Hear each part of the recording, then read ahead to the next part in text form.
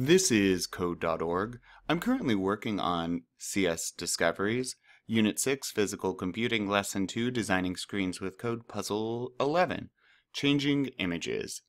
The first thing you'll need you'll need your emotion machine to do is change the to the appropriate image uh, when a button is clicked. If you look at the starting code, you'll see that we already added set property face image icon. Oh, they use font. Awesome.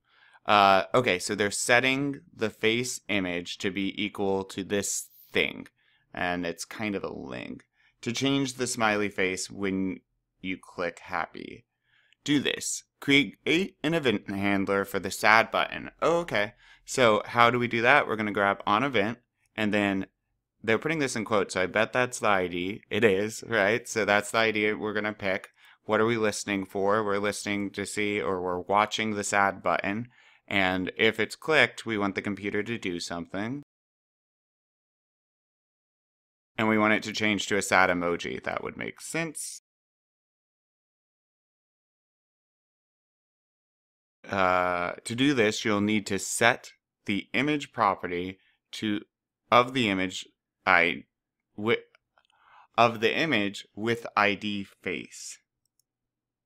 Okay, so we want to set property of face.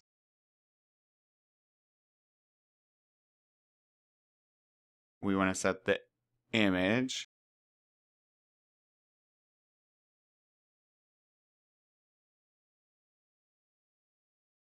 Oh, and so now for this, I'm going to click choose, icons, frowny. um, okay, so, hey computer, watch that sad button, and if clicked, run this function.